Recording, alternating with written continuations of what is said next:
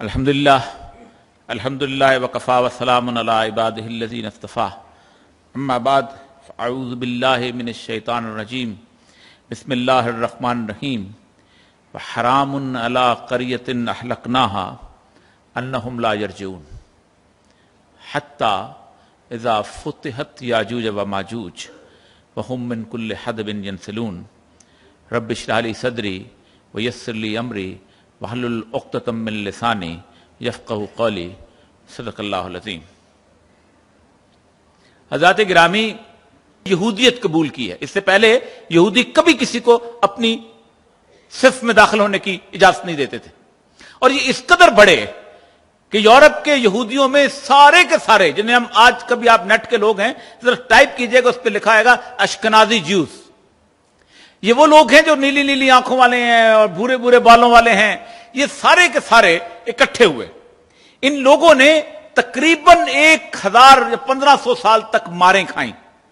कोई टस्कनी से निकाला गया, कोई मिलान से निकाला गया, कोई कहीं इनको पूरे के पूरी ज़िंदगी इन पे तंग कर दी गई। हालत ये थी कि 200 साल तक ये इंसानों वाले नाम नहीं रख सकते थे। कुत्ते का नाम डॉग और कुक किस तरह के नाम रखे जाते इनको खास लिबास पहनाया जाता था। एजाबेला फर्डिनेंड ने जब इन पे हमला किया है, जब स्पेन फतह किया है तो इनको बुलाया। डेढ़ लाख यहूदी था वहाँ पर। पचहत्तर हज़ार ने कहा ईसाई होते हैं। कहा, हमारे सामने सुअर खाओगे, रोज़ाना, और हमारे सामने तुम हफ़्ते के दिन कारोबार करोगे। बुतरीन, अठारह में ये अशकनाजी जूस इकट्ठे होते हैं वियाना के एक शख्स हजाल के साथ, और अठारह में जायनिज्म के प्रोटोकॉल्स लिखते हैं और कहते हैं, अब हमने मार नहीं खानी। अब इस दुनिया की सियादत हमारे हाथ में होगी। और वो जो मकाशफात दानियाल हैं, हम उस पर अमल करते हुए यरूशलेम पहुँचेंगे और हम वहाँ पर हमारा मसाया आएगा।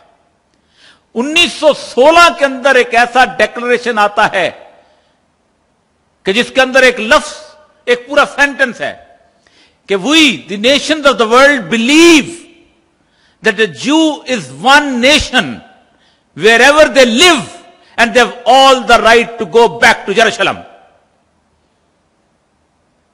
ये बर्तानिया के अंदर, ये डेक्लेरेशन बालफोर डेक्लेरेशन 1916 में आता है और 1916 के बाद पहला काफला जो है, वो वहाँ दाखिल होता है और वो दाखिल होता है बैर तिबरिया को। बैर तिबरिया है सी एफ़ गैलली फिर नेट के लोग आप जाने वाले हैं। सी एफ़ गैलली जो है, इसके बारे में सैयद सल्लल्लाहु फरमाया, जब पहला लश्कर याजूज और माजूज का उसको अबूर करेगा, उसमें पानी होगा।